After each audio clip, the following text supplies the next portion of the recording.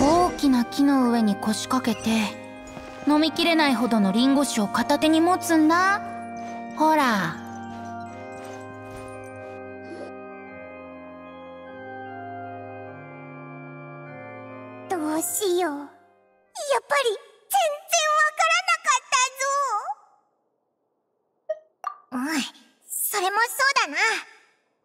にありえない事件なんてないはずだそう緊張しないで。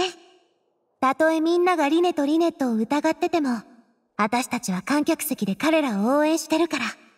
私らでさえ理解できてないんだし、フリーナ様が完全に理解できたとは思えないもんね。ありがとなナビアそれじゃあ行ってくるぜ幸運を祈ってるよ。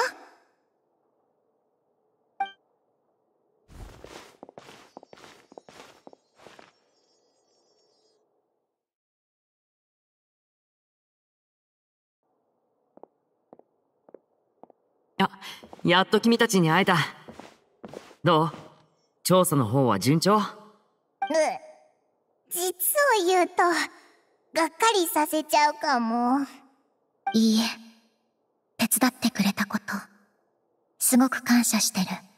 君たちのその落ち込んだ様は何だい？調査には何の収穫もなかった。そうだろ？まあ、当たり前とも言える。罪ある者から無罪の証拠を見つけ出すことなど不可能だからな。だが、ここで止まってくれるなよ。君は僕が一番相手にふさわしいと見込んだものだ。あっさり降参されてしまっては、がっかりだからね。双方が揃ったこれよりマジックショーで起きた突発事件に関する審判を始めるではまずこの場にいる観客が事件の経緯を理解できるよう被告人リネにマジックの種について解説してもらうはい。僕が説明し、リネットは舞台で実演してくれます。道具も用意できました。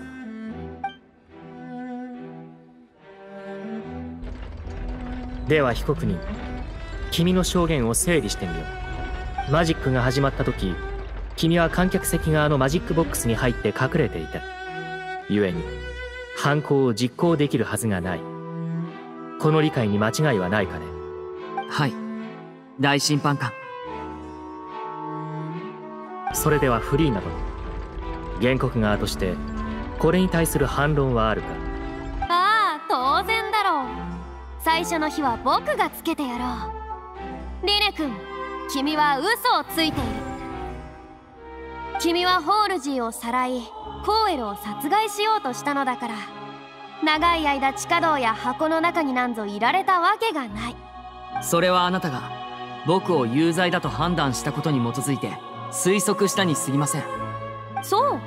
じゃあ君は箱の中にいた時何か聞こえたか？もちろん耳をつんざくようなカウントダウンの声です。それで時間を把握してサプライズを生み出すわけですから。その他は印象的な物音とか。ありません。しかしカウントダウンが30秒台に入った頃会場には鈍い物音が響き渡った。誰もが聞こえていたはずだと思うけどね。おいなんかおかしいぞ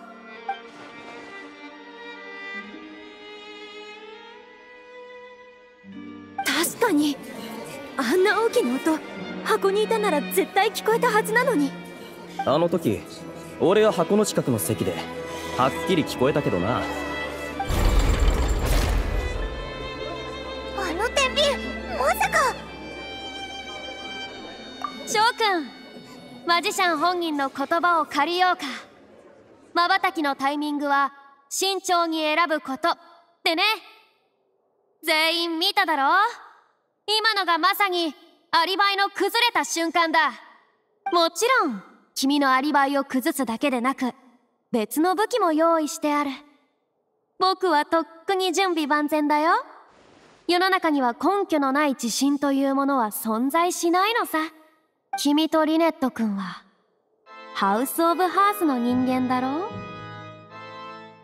ハウス・オブ・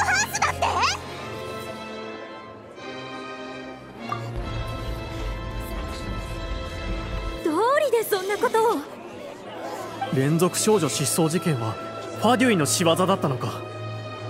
なんか一番納得の答えだな。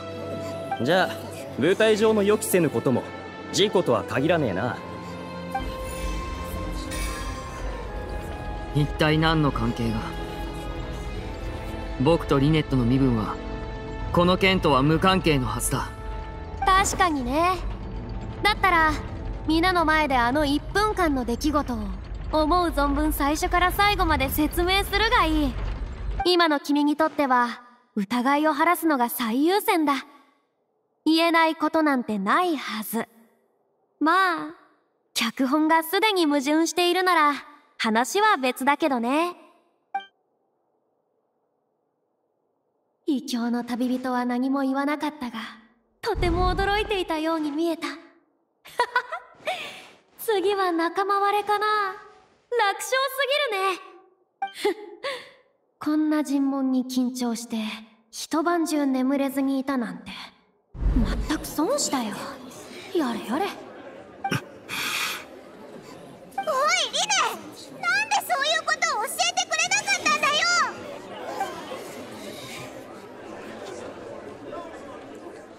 よ。静粛に。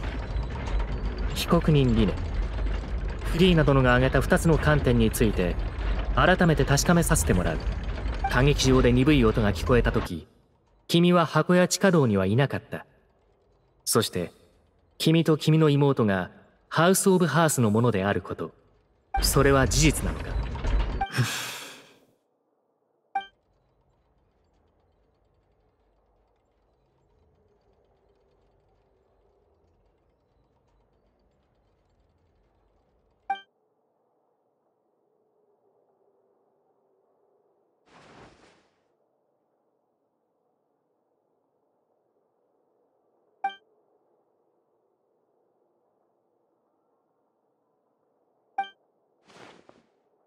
私の質問に答えたまえ。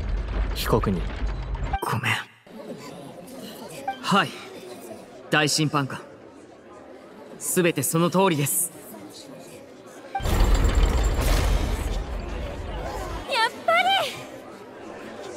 ここまで来たらもう判決を下していいでしょ？どうしよどうぞ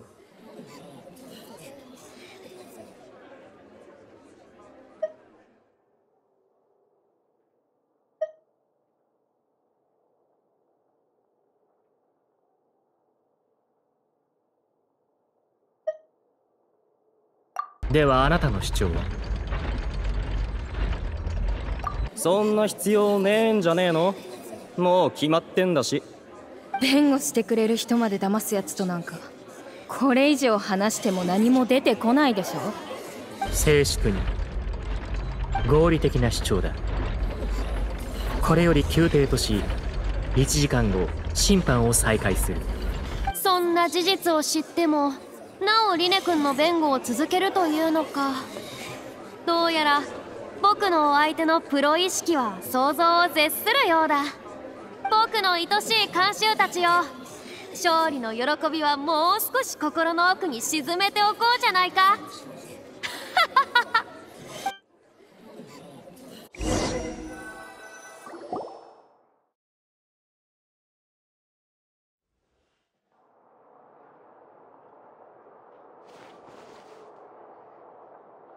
まさかあんなことまで水神様に掘り出されちゃうとはね。いや困っちゃったよ。ごめんね。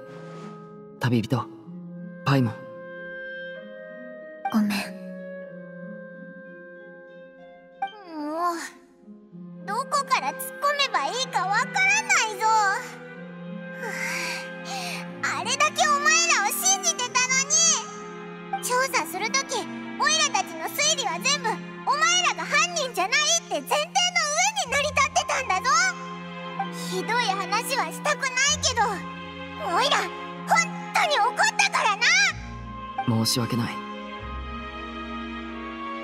君たちが怒ってるのは分かってるけどそれでも僕の説明を聞いてほしい。君たちとファデュイの間にはこれまでの旅でいろんないざこざがあったって聞いてる。きっと名前を聞くだけで不快だろう。だけどファデュイという組織はとても大きいんだ。執行官の方々は個性豊かで成し遂げたいこともそれぞれ全く違う。今私たちは人を助けたいと思ってる。できるだけ多くの人を。そう。この国とここにいる人たちが直面するかもしれない災難に対して僕たちは感情的な面では同じ立場のはずだ。だから身分さえ明かさなければ僕たちはとてもいい友達になれるかもしれないと思った。君たちに対して嘘をつきたくなかったから。あえて隠すことにしたんだ。真実は確かに重要だよ。でも全ての真実をいつも明らかにしてしまえば僕たちは多くの力を無駄に使うことになる。そうだね。だから君に判断してもらおう。いやもしも僕が君だったら僕もこのリネってやつは信用できないかもね。偶然の出会い。ファデュイという身分。その上マジシャンとして人を欺く演出を披露するのが仕事だなんてね。でもそれでも僕を信じてほしい。少なくとも今回の事件の犯人は僕じゃない。ごめん。でも許してほしい。れてもなそうだ。まずはお前の答えを聞いてからじゃないとな。オイラたちの信頼が欲しいなら全部素直に吐くんだぞ。ああ。もちろん。何でも答えてあげる。僕たちはずっと輸出最低カーディナルがどのように機能しなぜ自意識を持てているのかなぜ全ての罪状を正確に判決できるのかを知りたかったんだ。その後調査をしていく中で有識の下にそのコアが存在していることを知った。その時から僕とリネットは交換ボックスのマジックを考案し始めたんだ。真の目的はそのコアに近づくためだった。それが1分間も取ってた理由か？そうだよ。観客が60回のカウントダウンを終えるにはおよそ75秒かかるそして僕が向こう側のボックスに入るのには15秒あればいい。だから地下道に飛び降りた後は通気口から歌劇場の地下に向かいコアのある部屋で調査をしてた。その通気口はこのために地下道を作る時に掘られたの。何にも。部屋について調査を始めようとしたら突然人の声が聞こえたんだあまりにもおかしい。当時その部屋にいるのは確かに僕一人だったはずなんだ。他の人が現れるなんてありえない。その声は僕のことを知っているようで僕に話しかけようとした。慎重を期して僕は調査を諦めすぐに元のルートをたどって戻ったんだ。そして戻る時に割れた花瓶と落ちた服を見た。でも残り時間は少なかったからよく考えている暇はなかった。その後はご覧の通り殺人事件が起こったわけだ。確かにそれならあの鈍い音が聞こえなくて当然だよな。もちろん予言のためさ。予言の危機に対応するために僕たちはこの国の全ての秘密を知る必要があるそうしないとみんなを救う方法を知ることができないから。これが全ての真相だ。これ以上は何も隠していないって誓うよ。こんな風に君からの信頼を失う状況に置かれることは本当に僕の本意じゃないんだ。でもさっきも言った通りあとは君が判断してくれていい。ファデュイへの不信感から離れたとしても仕方ないさ。お前が決めてくれ。お前がどう思おうとオイラはお前についていくぜ。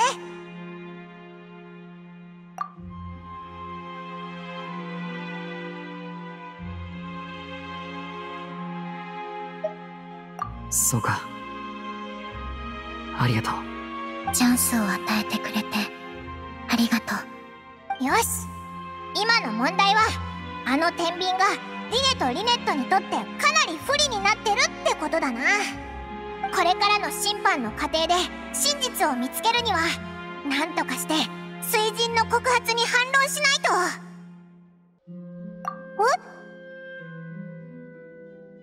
えそそうだな。お前の言ってることオイラも把握できたぞ多分。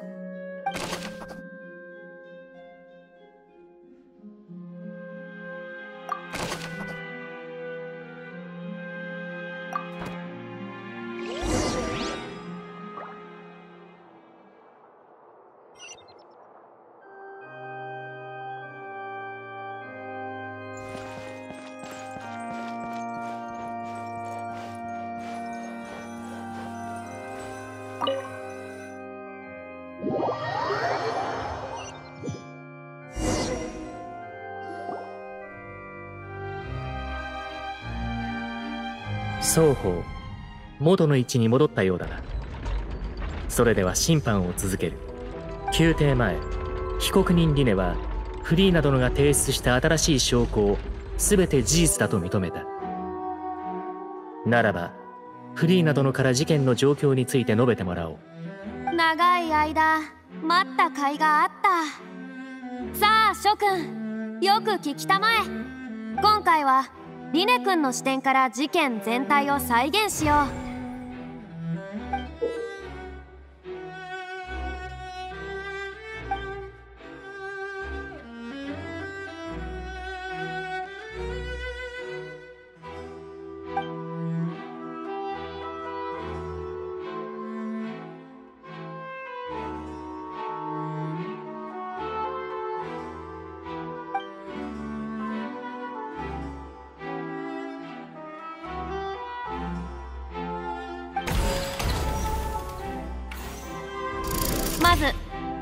観客のカウントダウンが始まった時リネ君はすでに地下道にいた。トロッコが地下道を通る間に彼は箱を開けてホールジーと取っ組み合いの喧嘩をしあの鈍く重い音を立てた。リネ君はその音が歌劇場全体にまで響き渡るほどだったことに気がつかなかった。だからさっきの尋問ではわざと聞こえなかったと。嘘をついたのさ。最後リネ君は花瓶を使ってホールジーを気絶させ彼女が誰かということが服装から周りにバレないように上着を脱がせた。しかしその時コーエルが異変に気づき地下道に降りてきて偶然リネ君の犯行を目撃してしまった。そこでリネ君はまたコーウェルを気絶させ彼を箱に入れた。その後リネは気絶したホールジーを観客席側のマジックボックスを通して待機していた仲間に引き渡し仕掛けを操作してコーウェルを事故死に装って殺害した。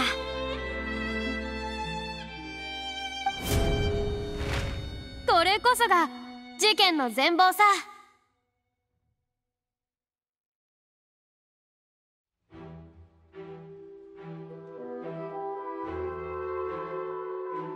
原告側が述べた状況説明に対し被告人から反論はあるかね。反論の鍵は時系列順にリネが地下道で何を体験し何を目撃したかってところにある。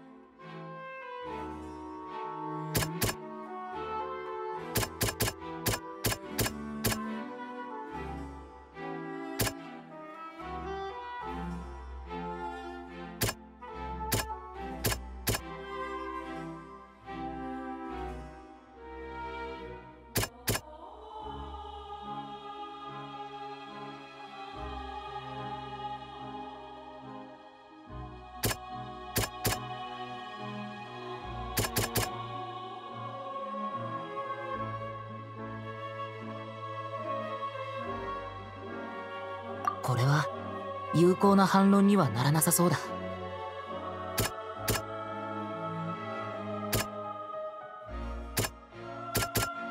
これは有効な反論にはならなさそうだ。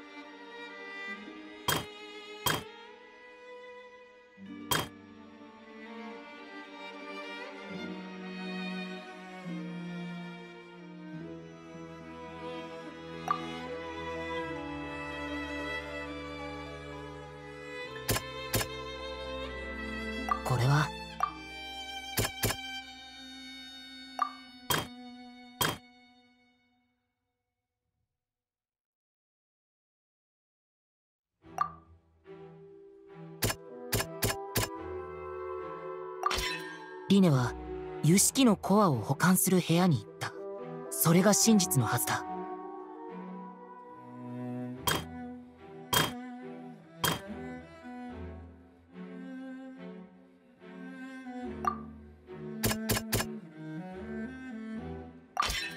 リネは地下道のトラブルに巻き込まれたわけじゃない。ただ戻った時に現場に残された痕跡を目撃しただけ。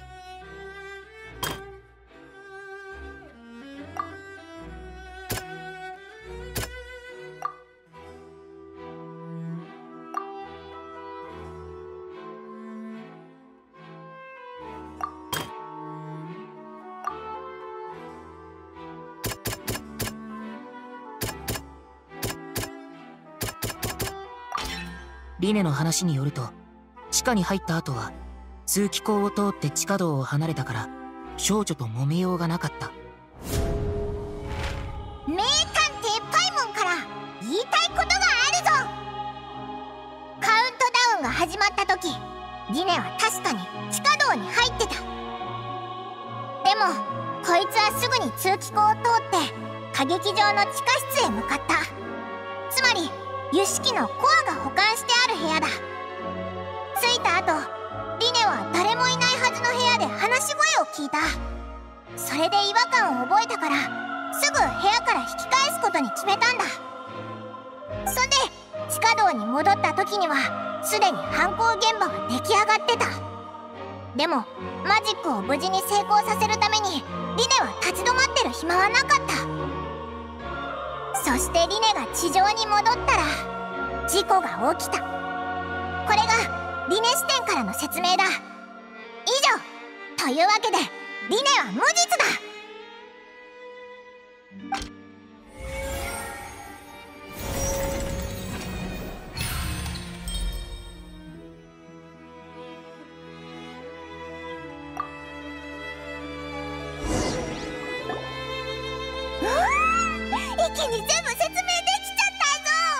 ごいおいらすごくないか？要するに君たちはリネ君が全く事情を知らなかったと主張してるのかい？ああそうだぞ。え？ぼ僕の推理に？もしコーウェルが地下道に入らなかったらリネは一体誰を殺すために仕掛けたって言うんだよ。お前の言う真実に従えばリネはただ少女を誘拐し新しい失踪事件を作るだけでよかったんだからわざわざ舞台で殺人を犯す必要なんてないだろ一理あるな。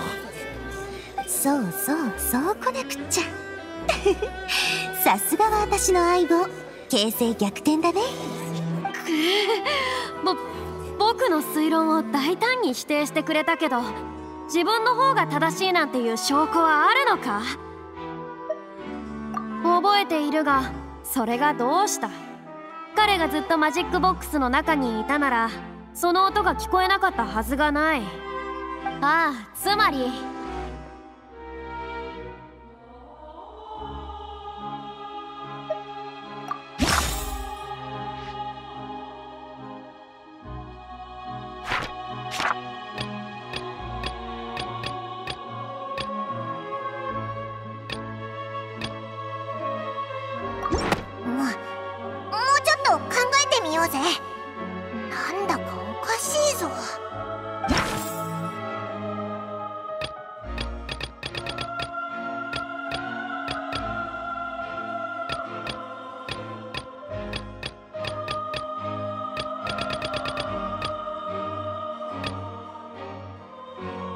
も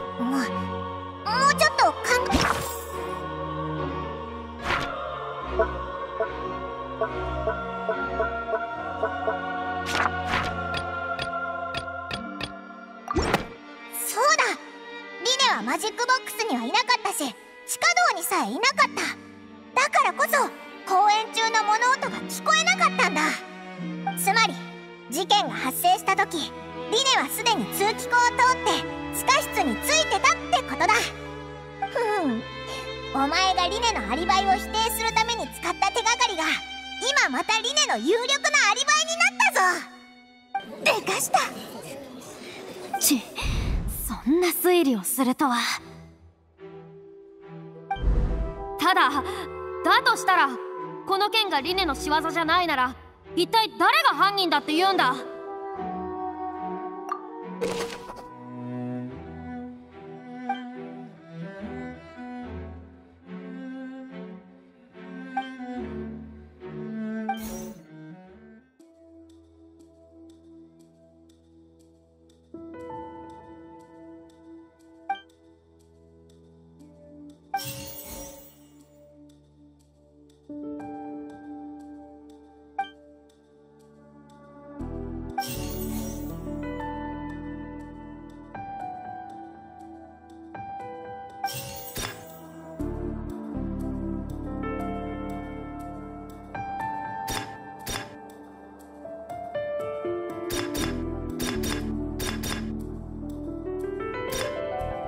失踪者の名はホールジー。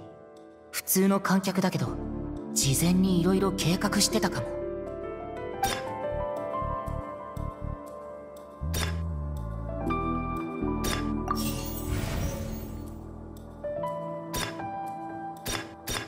やっぱり第三者がいる？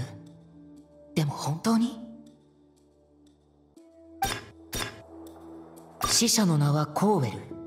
リネのアシスタントで。道具に細工できた。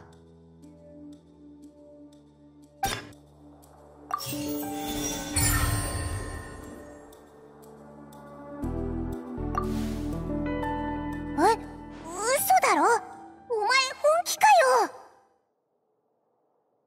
えっと犯人は今回の被害者コーウェルだ。ほう面白い君の推理を話してみるがいい。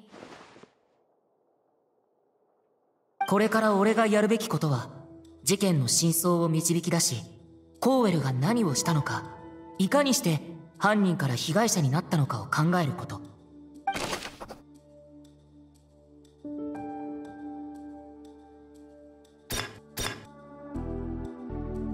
歌劇場の入り口からは誰も出入りしてない。犯人はホールジーをどこに連れて行ったんだろ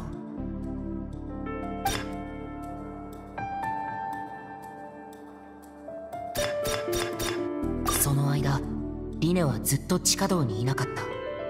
犯人に残された時間はたっぷりあった。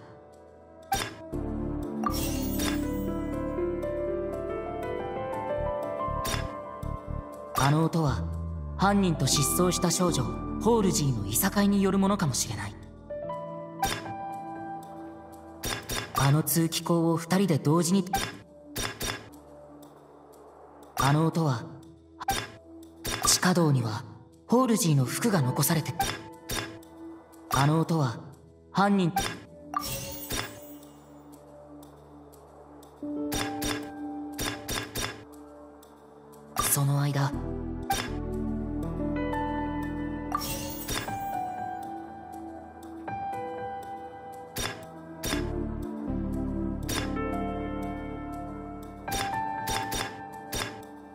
者の名はコーウェル。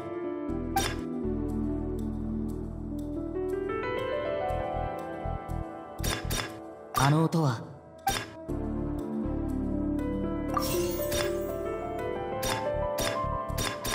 あの通気口を二人。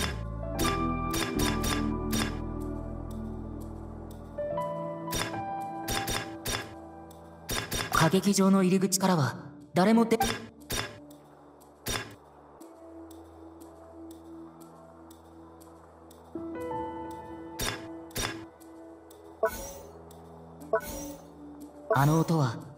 犯人と失踪した少女ホールジーのいさかいによるものかもしれない。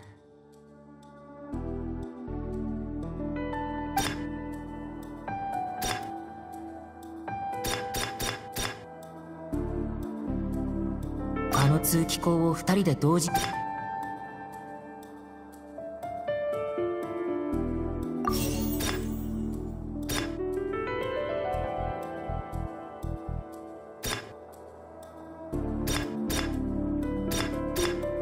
あの音は犯人と失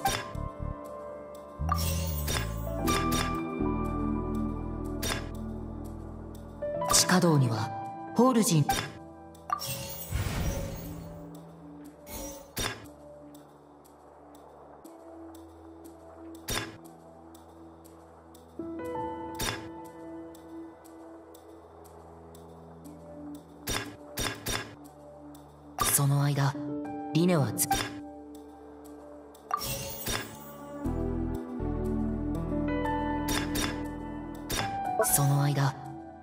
ずっとち死者の名はコーウェル。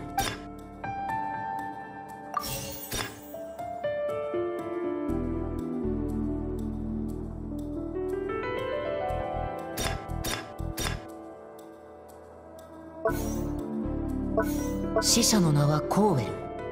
リネのアシスタントで道具に細工できた。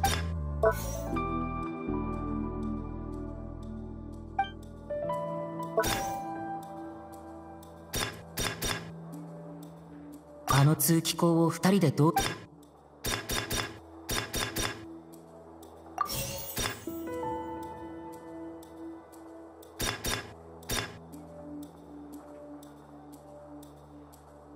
地下道にはホールジ歌劇場の入り口からは誰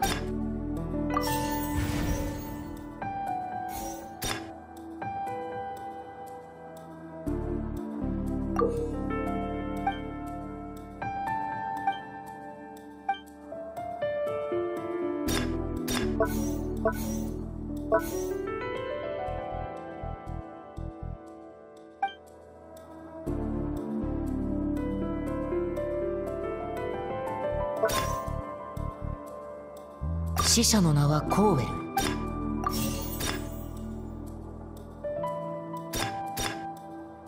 その間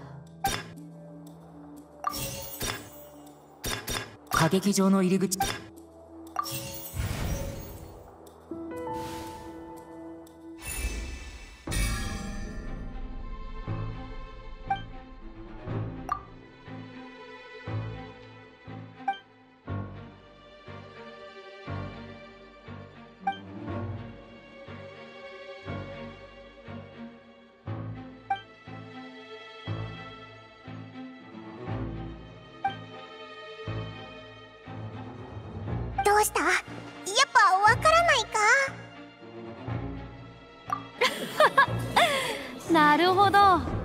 虚勢を張ってるだけだな。自信満々かと思いきや真相にはまだ程遠いようだね。落ち着こう。行き詰まったら考え方を変えればいい。マジックと一緒さ。最終的に見えるものはきっとマジシャンのトリックとはかけ離れているように見えるはずだよ。ホールジーを失踪させる方法が分かれば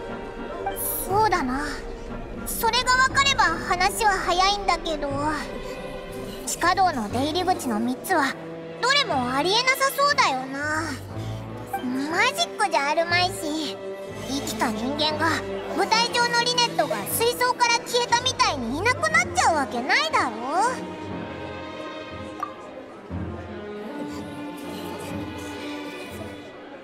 失礼だが親愛なる諸君。観客たちが待ちくたびれていることに気づいていないのかい？この歌劇場で場をしらけさせることほど大きな罪はないよ。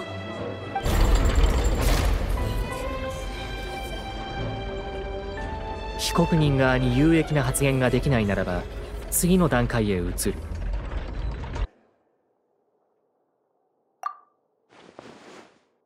その間リネネはずっと地下道にいなかった犯人に残された時間はたっぷりあった。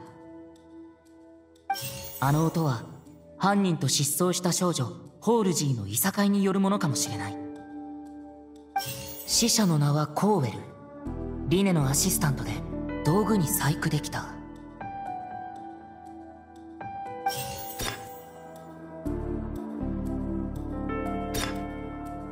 地下道にはホールジーの服が。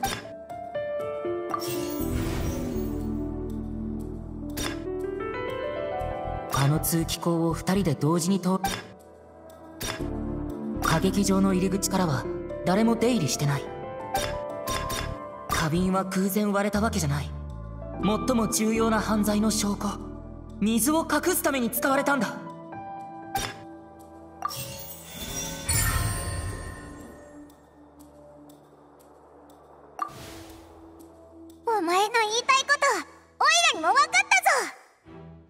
が誘拐されたんじゃなく消え去ったなら全部つながるぞ！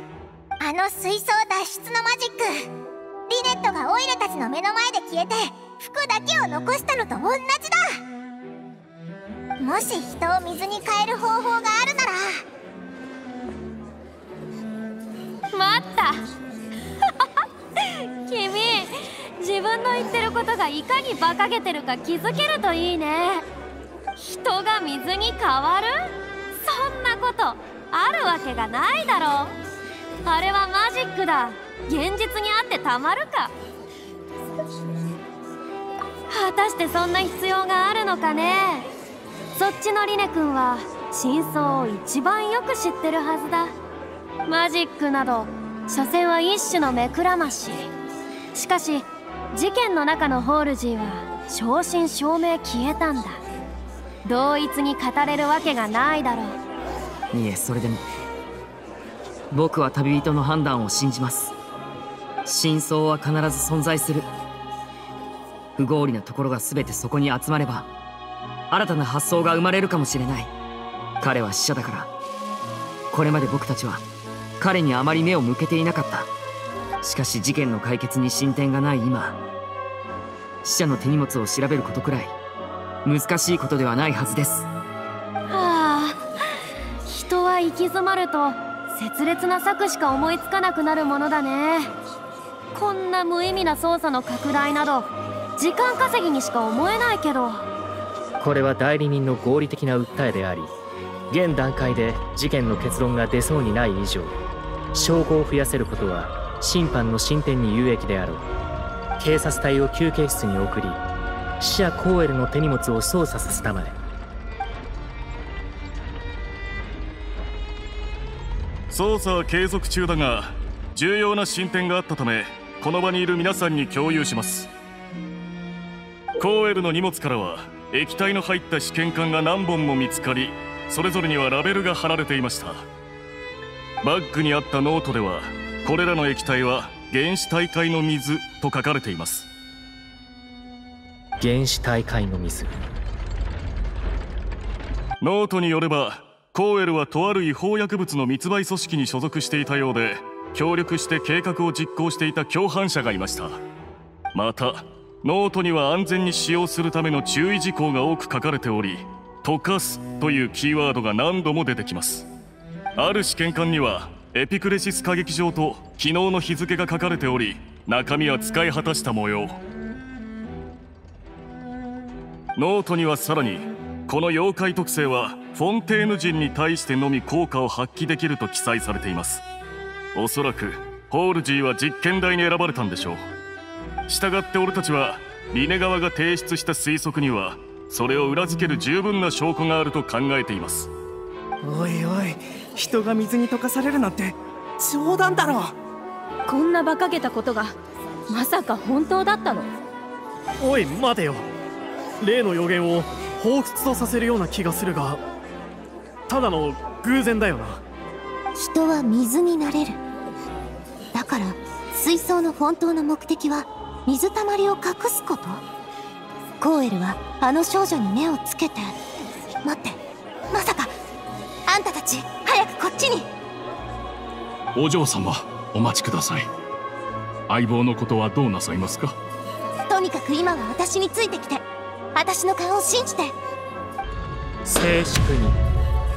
全ての者にとって衝撃的な発見であったが現時点ではこの手がかりの真偽を確認する術がない。行方不明になったホールジーがまだ見つかっていない以上当法廷ではこの手がかりの内容を暫定的に有効とみなす。警察隊はこの手がかりに沿って調査を続けてくれ。被告人理念君たちの推測は裏付けられた。話を続けたまえねえ。ありがとうございます。大審判官。この推測が成立して無関係に見えていた多くの意図がつながりました。そうだな。例えばずっとはっきりしてなかったあのロープについてたフックのことも。よく考えるんだ。コーウェルの手口はきっと原始大会の水と関わってるはずだぞ。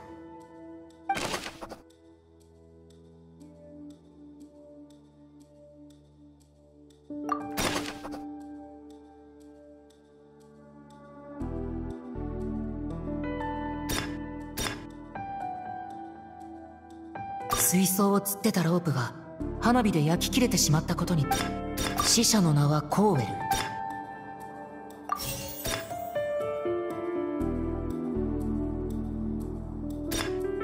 水槽を吊ってたロープが花火で焼き切れてしまったこと。今にして思えばあのフック付きロープは。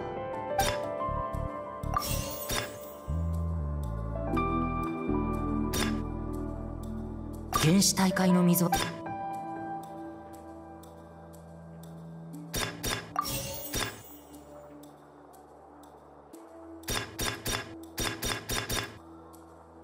リネットはずっと舞台上のマジック。水槽を釣ってたロープが花火でリ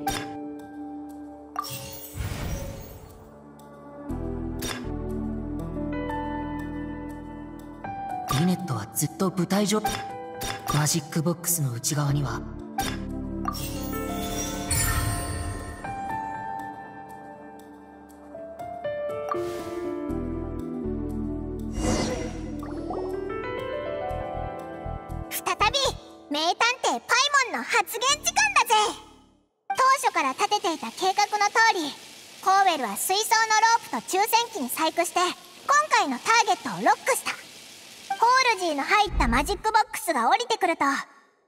徐々に引っ張られて箱の上部にあった風船を突き破る。上板に固定されていた風船は破裂し風船の中の原始大会の水が下にいたホールジーを溶かし水にしてしまったんだ。その後コーウェルは地下道に入って花瓶を割って地下道の水が花瓶の水だと思われるよう細工し残りの証拠は舞台上の水槽に隠した。ところが地下道でコーウェルは予想外の事態に遭遇し証拠隠蔽のための水槽が原因で命を落とすことになる。一理あるなこれでずっと疑問だったいろんな証拠もつながったね。まずい。僕も奴らの推理は理にかなってると思ってしまったぞ。まさか本当に無実の者に濡れ衣を着せてしまったのか？は恥ずかしすどうやら今解決していない唯一の問題は当時コーウェルがどんな状況にありそれがどう彼の死につながったかということのようですね。彼のノートによれば彼には共犯者がいた。まさかその共犯者と何か関係あるのでしょうか。たった今ある警察隊員から連絡が入った。新しく見つかった証拠を提供したいとのことだ。舞台の真ん中に来てもらい調査の状況を説明してもらおう。大審判官ありがとうございます。ついさっき他の関係者の荷物を調べさせたところリネのバッグの中からコーウェルが持っていた原始大会の水と全く同じものを見つけました。バカだありえない。なんと劇的なシーンだろうね反撃に使うはずの弾丸がかえって自分自身に致命傷を与えてしまうとは。さて全ての疑問が解決したね。親愛なる民よ忠実なる観客よ。この僕が僕の推理によって今回の事件に終止符を打ってあげよう。まずリネ君は少女が溶かされることに。一切関与する必要はないため地下道に入ると通気口を使って去っていった。彼のアシスタントであるコーウェルはその時点でマジック道具への細工を終えており原始大会の水を使ってホールジーを溶かした。しかし邪念を抱くリネ君は引き返した時この手柄を独り占めにしようと自らの仲間をも片付けてしまうことにした。結果リネ君はコーウェルを気絶させ本来の痕跡を隠すための仕掛けでさえ殺人の道具へと化したのさ。このような残酷で露骨な結論を出すのは実に心苦しいがかの有名なファデュイはきっとそれほど冷血で非常な組織なのだろう。ねリネ君。証拠はもう使い切った。説得力のある反論はできそうにない。もはやここまで。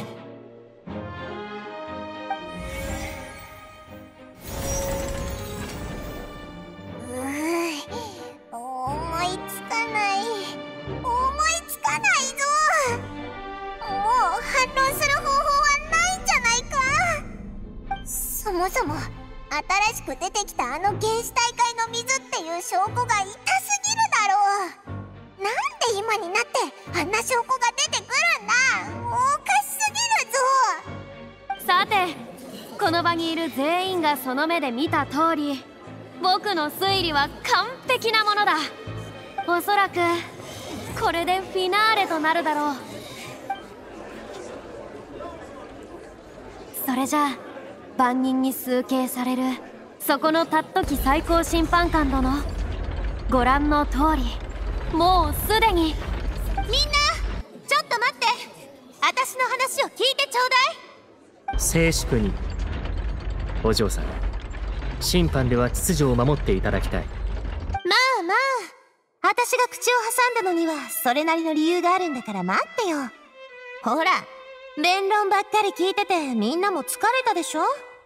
マジックショーをもう一つ見てみたくない？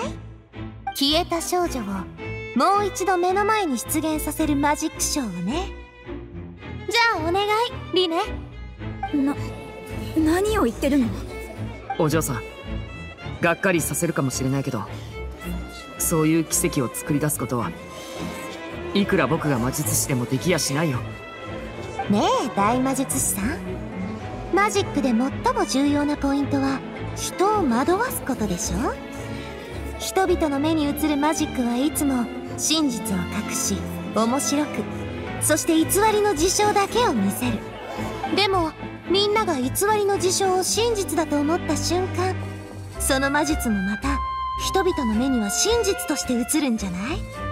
そしてそんなマジックこそ一番素晴らしく今日のフィナーレにふさわしいと言えるでしょ？さあリネにリネットもう一度やってみて。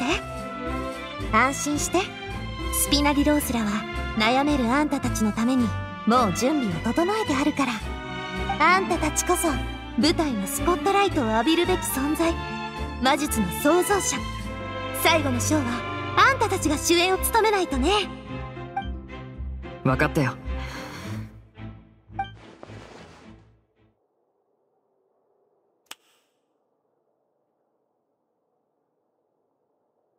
じゃじゃーん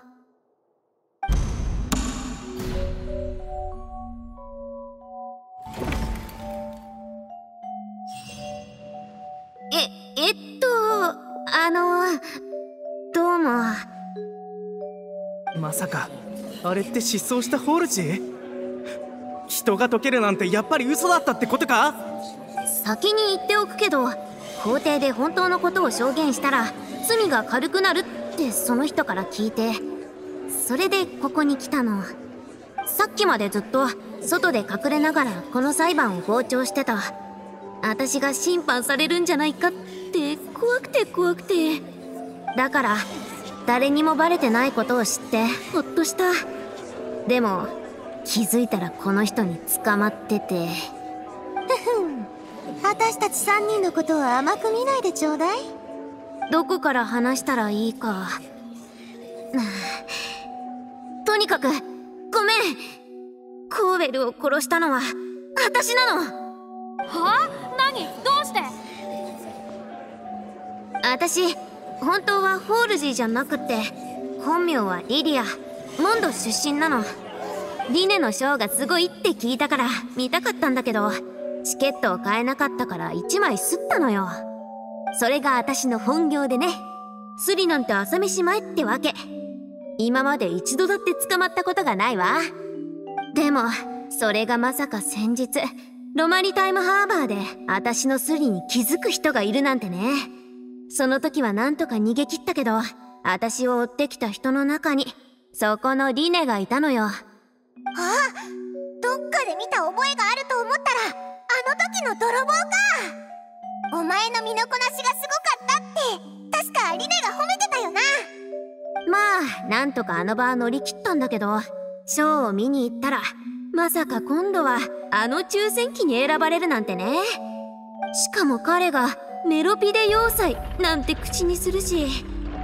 だってそこって監獄でしょ？てっきり目をつけられたんだと思ってびっくりしちゃって。だからまずは合わせるふりして隙を見て逃げようとしたの。けど急に水をかけられた上に誰かが地下道に入ってきて私を捕まえようとするし。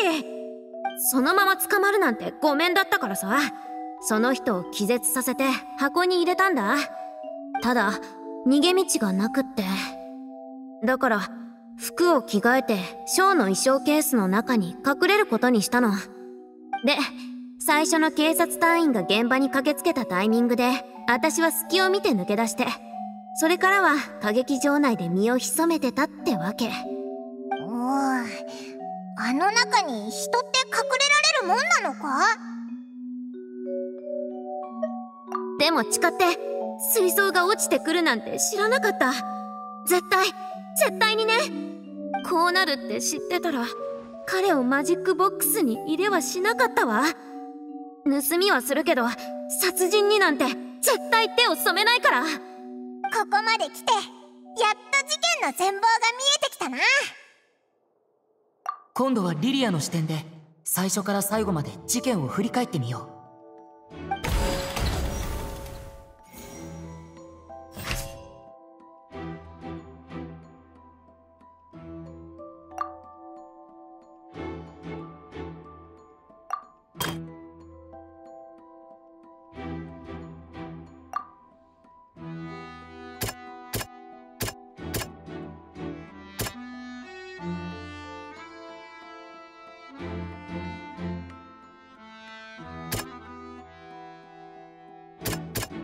これは。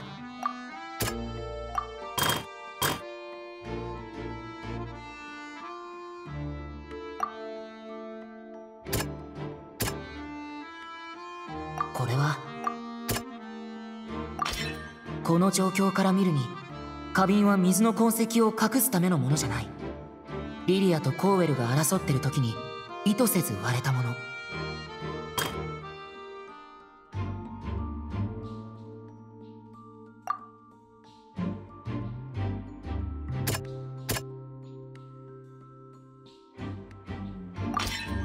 の物音は争いによるものじゃなくパニック状態になったリリアが扉を破りそこから脱出した時の音だった。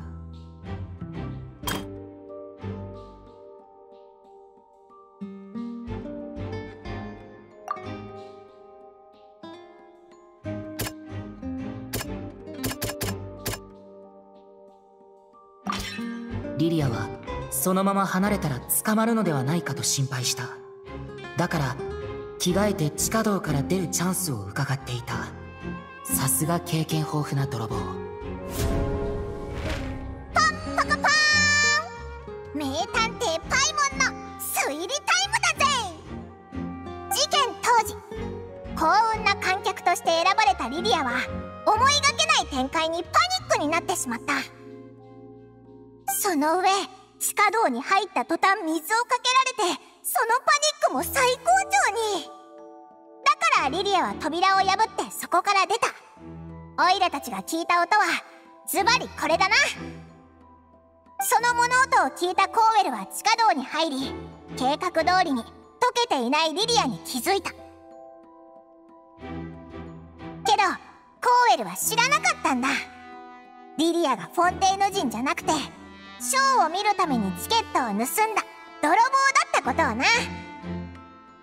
そしてコーウェルは原始大会の水が効くには時間が必要だって勘違いした。でリリアを無理やり箱に押し戻そうとしたんだ。花瓶はその取っ組み合いの際に割れたんだと思うぞ。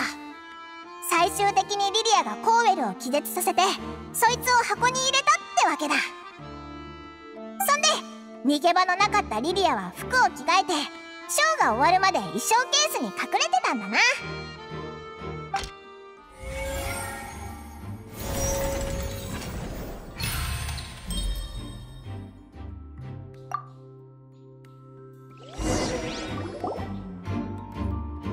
歌劇場を出るには警察隊のチェックを受けなきゃいけなかったからそれから2日間リリアはずっと歌劇場の中にいたんだ。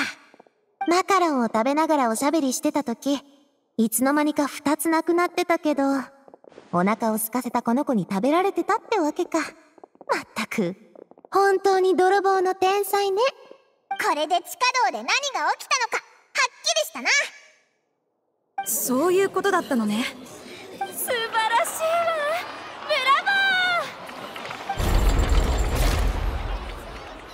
被告人側の主張に対して異議はあるかね。フリーなどぼ僕はえー、っと何も言うことはないのかフリーなどちなみに審判が終わるまで原告側は大抵できない決まりだ。ならなんで僕の考えが分かったんだ？はあ意義はない。僕の負けだよ。まったくわざわざ聞かなくてもいいだろ。僕にだってメンツってもんがあるんだぞ。空気が抜けた風船みたいににしぼんじゃったぞ。では異議がなければフォンテーヌの最高審判官である私がこの事件の一部始終をここで振り返らせていただこう。少女失踪事件の真犯人であるコーウェルは観客リストから次のターゲットを選んだ。抽選機にあらかじめ細工を施しておけばそのターゲットの少女は必ず選出される。また犯行の痕跡を消すためコーウェルは水槽を落とすことで少女が溶けた後に残る水を隠そうと画策した。それをなすために水槽を吊っていたロープに細工しショーの最後に打ち上げる花火を利用したのだろう。そして彼は少女を溶かすために風船にもある細工をした。そう。原始大会の水を入れたのだ。それをショーの準備中マジックボックスの上板へと結びつけた。最後にコーウェルは少女をマジックボックスに入れる際あらかじめ用意しておいたフック付きロープを扉の隙間に通した。